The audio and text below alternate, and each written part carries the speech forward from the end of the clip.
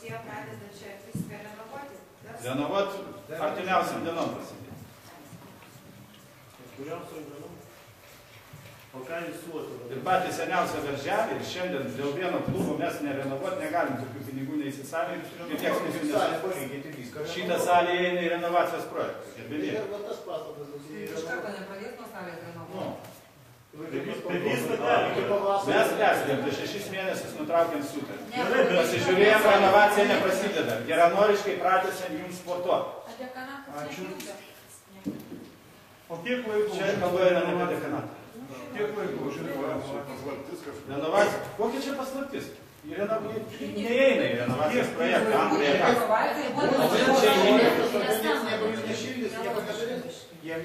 Ten išorė tik renovuojasi ir stogas renovuojasi. O čia visas darželio šitas patalpos vidus renovuojamas. Gerbėmieji, kaip jums aiškinti? Tai vis statybos O kiek laiko, o kiek laiko užima renovacija? Trys, keturi mėnesiai. Tai praktiškai iki naujų metų šituose patalpose nevyks jokia veikla. Taip, vyks renovacija. Tai praktiškai metodinis, metodinis kabinetas vaikai pradės nuo rugsėjo. Kito, aišku. Išviešinė bus. Vaikai bus iškelti į kitus darželius. Remonto metu. Remonto metu. O paskui baigsis remontas vaikus. Tai rangovas dar neparintas. Čia. Rangovai yra nustatyti. Viešųjų pirkimų tarnyba turi patvirtinti. Konkursas buvo. Tai Taip. buvo, paskiau turi yra- Tai ir ateinat būtinai nuo šičio pradeda viską. Nuo šitos vietos. Jeigu čia pradės ateina stogai, ateina langai, ateina vidų. Keičia instaliaciją, keičia iš karto renovuoti ir iš karto šitą salę pradėjo renovuoti. Iš karto. Ar kur daug tenai, bet tenai, ar tik šitą salę. Statybininkai ateina su savo brigadom ir jie žiūri. Jiem yra nustatytas terminas, grafikas, kada jie turi atrenovuoti. Ir jie renovuoja. Jie suprato, Klausykit, direktorius. Iš karto ateina ir čia greu. Direktorius, klausykit, negalima? Paskutinė renovuoti. Baigsis penki metai, sezonas kitas, čia jau baigsis. Nebus saugu, kai vyksta remontai, kad valstybė kai vyksta remontai, čia jokia veikla negali būti, supraskite teisingai. O kada tenais O tai internatė bus tai bus neiškeltas, tai bus vyks veikla statybos. Renovacija. Dekanato vidaus niekas nerenovuos. Tai kaip išorė, tai irgi žmogus negali vadinti išorė. Langus jau langus viską. Laikinai gal Vyks visokie reiškia pašaliniai. Jeigu negalės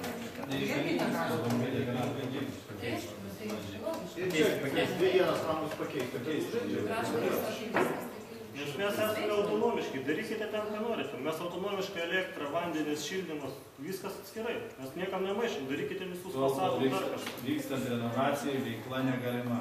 Nu tai tame korpuse vyksta, šitas korpusas. Vyks ir čia renovacija. Tai kaip jums kitaip paaiškinti? Kodėl jūs tokie užsispyrę, kad nu, darykit taip, o ne taip? Dėl to, kad aš atstovauju vaikus. Gerai, visi mes atstovaujame. Jūs atstovaujate. Atstovaujame. Apart, apart, jūsų klubo yra dar kiti klubai. Ir plus yra 35 mokymo įstaigos. Ir mes juos visus atstovaujame ir visi. Matom, kaip atstovaujas, jis turi pradedant stadioną ir baigiant tą sporto mokyklą. Ar nors kas nors yra pakeista. Jūs tik atstovaujat žodžiais, o ne darbais nieko daro. Mes tai? paprašom, kaip nors gal galima. Matosi, pratęsti kaip stadionas Iki naujų, naujų dar kaip visi salė, viskas. gal ir dabaigtų. Darželio renovuoja vaikam nieko, nei tai renovuoti nieko negalima. Šis, šis, šis, ne- Nieko nedaro sporto, nieko, visiškai nieko. Gerai, po vieną šnekėk. Šis sezonas yra mums vienintelis labai svarbus. Dėl vienos priežasties. 92 gimimo metų sportininkai pas mus yra daugiausiai yra pasiekę. Šiais metais jiems yra paskutinis pasaulio čempionatas, kada jie atstovauja jaunimą. Jie treniruojasi visą vasarą, jiems sudarytas visos sąlygos, išnuomotas dar vienas klubas papildomai sportuoti. Šitą sezoną, jeigu jie yra numeris vienas Lietuvoje ir yra įeina į dešimtuką geriausių Europoje ir pasaulyje sportininkų. Du žmonės iš mūsų klubų. Dabar, kadangi mes viską susimėtysim, viską perėsim, išmėtysim ten, ten, ten, ten, ten, gausis, kad nutrauks normalų sportininkų pasirašymo ciklas, kuris jau prasidėjo. Man daleiskit, jokio skirtumo nėra, kurioje salėje sportuoti. Man svarbu, kad būtų vaikai ir kad aš galėčiau normaliai juos treniruoti. Daugiau man reikia, nieko nereikia. Man reikia sąlygų. Ir viskas. Vienintelį šitą dalyką aš prašiau, sakiau, kaip kitaip. Nu, aš nežinau. Visą laiką nesakiau tėvam nieko tokio, nes galvojau, galima susiderinti, galima kažkaip tai išspręsti šitą situaciją. Bet darykit tol, kad, nu kaip visiems. Jūs iš savo pusės savo teisybę turite, aš iš savo pusės turiu savo teisybę.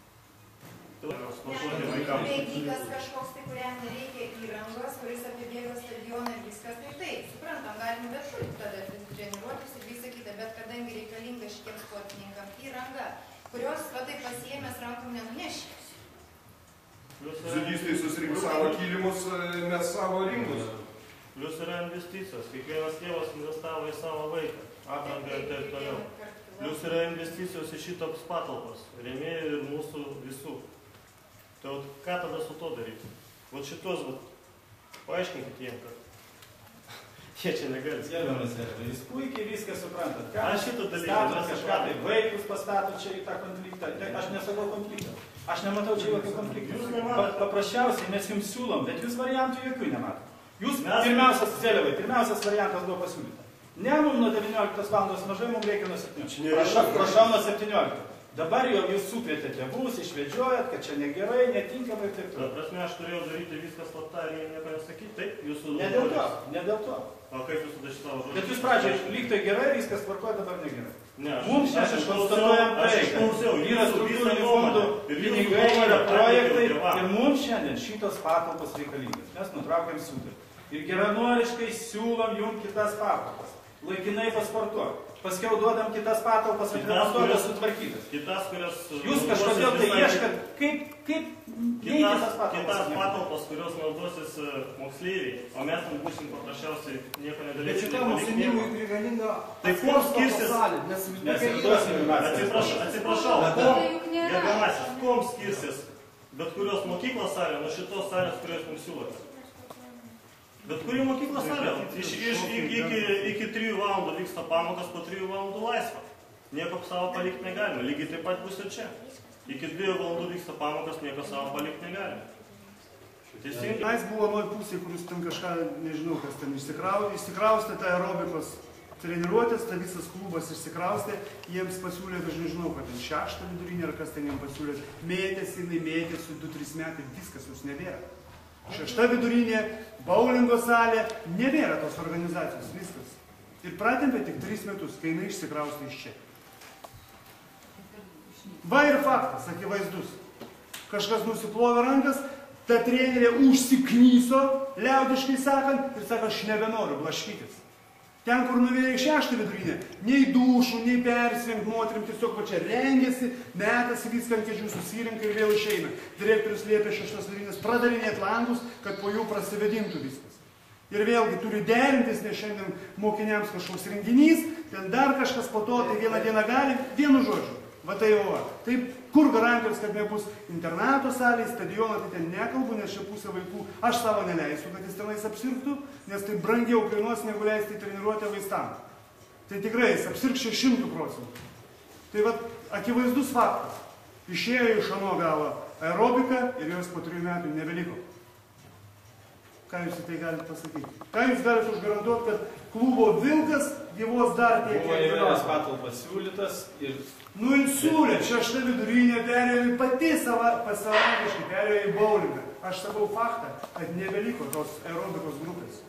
Kur garantija, kad liks klubas Vilkas? Kur? Už tai, kad vadėjų muziejų užsiknysis blaškyti su tais vaikais, jis sakys, žinot ką? Patys žinot ką. Jūs dabar pergyvenat dėl zudistų. Jeigu mes nuo 17, palaukit, palaukit. Mes nuo 17 valandos jums siūlom sporto mokyklai sportuoti. Taip, bus kai kurių nepatogumų. Taip, jų buvo ir bus. Bet kai gausit naujas patalpas, galėsit normaliai sportuoti. Tos patalpos, gerbiamasis, nieko nesiskiria nuo paprastos mokyklos. Kuom jie skirsis, aš jums dar kartą aiškinu. Klausyk. Gerbiamas Zelevas. Taip, Jeigu jūs randat kur kitų patalpų, pasakykit, gal aš nerandu, gal Matiukas nerandam tų patalpų. radau, Kur jums žinoma? radau. Ten negalime. Šiandien ten mokosi pradinukai. Ir salė reikalinga pradinukų reikmė. Mes galime laukti ir du metus, jokio skirtumo. Po dviejų metų pradinių klasių korpusų ir mokinukų ten nebus. tai laukit, tai kur jūs sportuosit tada dabar išėjai? jau dabar padėrėsim dėl sporto mokyklos, kurios susiūlot, pakviesim sporto mokyklos direktorių, trenerius. Ar sutiks jie, kaip Treneriai, du treneriai yra, kiek aš žinau, trys treneriai, atsiprašau, kiek žinau, yra. Yra mokyklos direktorius. Ir su suderinam tos visus valandos, kuriuos jūs siūlote ir taip toliau.